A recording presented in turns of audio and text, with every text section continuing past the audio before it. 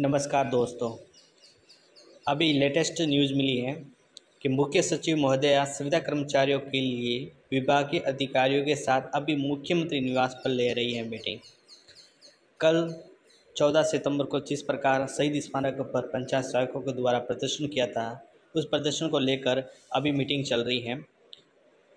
कार्य विभाग में मुख्यमंत्री जी के ओएसडी श्रीमान ललित कुमार गुप्ता जी ने बुलाया। संगठन को सचिवालय सहयोगी रामजीत पटेल, प्रवक्ता प्रमोद बिंडा अभी सचिवालय में उपस्थित हैं। आगे क्या खबरें मिलती हैं, आपको जल्द ही अपडेट कर दिया जाएगा। चैनल पर बने रहे, चैनल को सब्सक्राइब करें, लाइक करें और शेयर करें। धन्यवाद दोस्तों।